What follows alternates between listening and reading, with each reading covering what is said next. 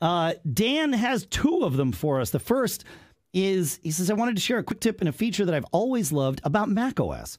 Uh, as one colleague of mine was pointing out this feature in Visual Studio for Windows, I had to mention that this feature had been standard.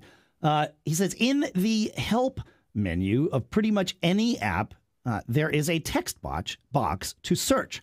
Not only does this search the help files themselves, but if you type the name or partial name of any menu item, it will temporarily pull that item into the help menu. And when you hover over it, it will point out where that item item is in the other menus. Yeah, this is super handy for finding a menu item that you know exists but might be buried in several submenus or something.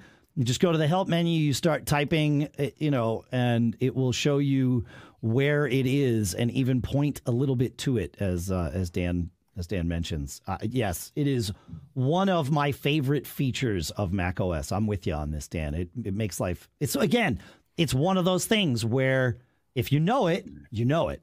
It and if becomes part of your workflow and you forget it's even a tip. forget it's Yeah. there, which is why we have quick tips to begin with. Exactly. Yep.